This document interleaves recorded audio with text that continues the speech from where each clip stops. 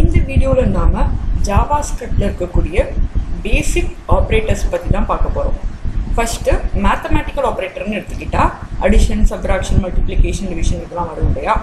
நான் இங்கே வந்து ஒரு ரெண்டு வேரியபிள்ஸ் எடுத்திருக்கேன். வேரியபிள் ஏ வந்து டூ பி வந்து த்ரீ ஸோ இப்போ இந்த வேல்யூவை வந்து கன்சோலில் செக் பண்ணிக்கோங்க. ஏ வந்து டூ பி வந்து த்ரீ ஓகே ஸோ அடிஷன் சப்ராக்ஷன்னா நார்மலாக தான். ஏ ப்ளஸ் பி போட்டிங்கன்னா addition and minus simple use பண்ணீங்கன்னா subtraction and this is for multiplication division இதுலலாம் எந்த ப்ராப்ளமும் இல்லை.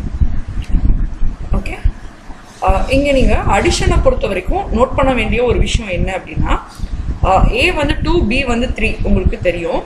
நம்ம வந்து பார்த்தீங்கன்னா ஸ்ட்ரிங்குக்கு புதுசாக ஒரு வேரியபிள் அசைன் பண்ணுறேன் ஓகே இப்போ நீங்கள் ஏ ப்ளஸ் சி கொடுத்தீங்க அப்படின்னா அந்த டூவும் ஃபைவும் சேர்ந்து டுவெண்ட்டி ஃபைவ்ங்கிற ஸ்ட்ரிங்காக வரும். செவன்னு ஆட் ஆகி வராது. ஸோ இந்த ஒரு எரர் வந்து ஜாவா ஸ்கிரிப்டில் இருக்குது நீங்கள் ஒரு ஸ்ட்ரிங்கை கொடுத்தீங்க நம்பர் ஸ்ட்ரிங்கை கொடுத்தீங்க அப்படின்னா இந்த மாதிரி தான் உங்களுக்கு அவுட்புட் கிடைக்கும். நமக்கு மல்டிப்ளிகேஷன் சிம்பிள் தெரியும்.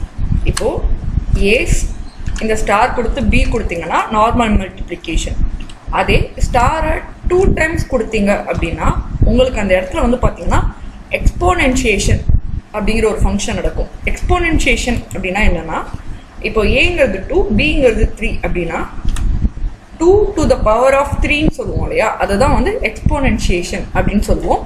ஸோ நீங்கள் எக்ஸ்போனென்ஷியேஷன் பெர்ஃபார்ம் பண்ணணும் அப்படின்னா உங்களுக்கு வந்து டபுள் ஸ்டார் நீங்கள் யூஸ் பண்ணணும். ஓகே அடுத்த டிவிஷன் வந்தீங்கன்னா ஏ டிவைடட் பை பி அப்படின்னு போட்டிங்கன்னா நார்மல் டிவிஷன் அதே உங்களுக்கு மாடுலஸ் தெரியணும்னா ஏ பர்சன்டேஜ் பி அந்த மாதிரி கொடுக்கணும்.